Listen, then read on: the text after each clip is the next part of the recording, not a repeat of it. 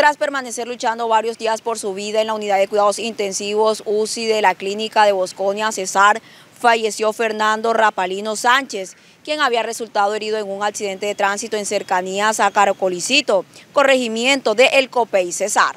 El accidente ocurrió el pasado 28 de enero cuando la víctima, identificada como Luis Fernando Rapalano Sánchez, se desplazaba en una motocicleta en cercanías al corregimiento Caracolicito, jurisdicción del Copey Cesar. El joven, que era conocido cariñosamente como Nano, se movilizaba con tres amigos más en la moto, esto luego de pasar unas fiestas en el Copey. Al parecer, el conductor del vehículo perdió el control saliéndose de la vía e impactando contra una alcantarilla. Nano se encontraba en la clínica Sinais Vitais de Bosconia, en donde falleció debido a los diferentes politraumatismos que sufrió.